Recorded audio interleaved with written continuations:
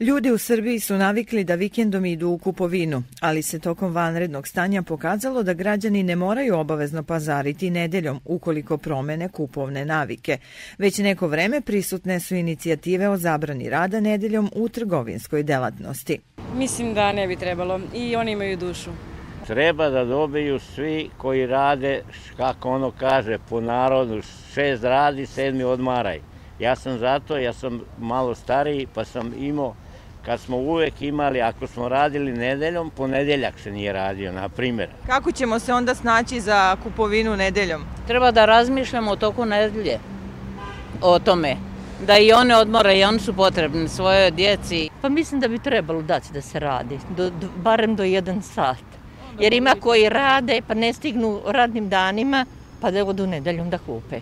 Mišljenja su i dalje podeljena, a promene bi pogodile i prodavce i kupce. Dosta njih radi, tako jedni rade, jedni ne rade i tako mislim da bi trebalo to da se donese neka, neki zakon da, da se odredi ko kako može raditi ili da svi radimo ili da ne radimo. Trebalo bi to doneti neki zakon i da se pridržavam tog zakona i to je to.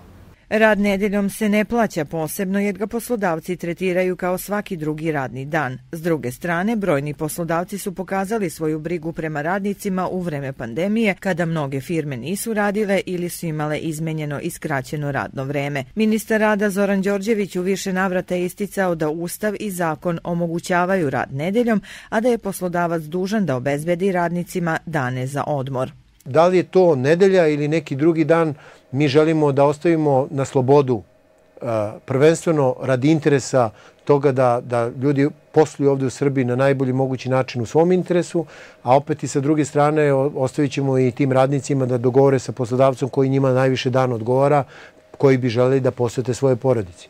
Tako da takav jedan ambijent uh, uh želimo da i dalje postoji ovdje u Srbiji.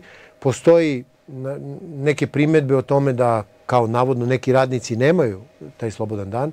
Ukoliko se tako nešto dešava, tu dolazi do kršenja zakona o radu i ja pozivam sve one koji nemaju taj jedan slobodan dan da prijavi inspekciji rada. Inspekcija rada će sigurno reagovati i kazniti tog poslodavca i sigurno ne samo kazniti, već takva stvar više sigurno neće se događati. Iskustva evropskih zemalja sa uvođenjem neradne nedelje prilično su različita. Vrata trgovina za potrošače nedeljom zatvorena su u devet država, među kojima su Francuska, Nemačka, Austrija i Poljska, ali i Crna Gora i Slovenija. Mađari i Hrvati su odustali od ovakve restrikcije.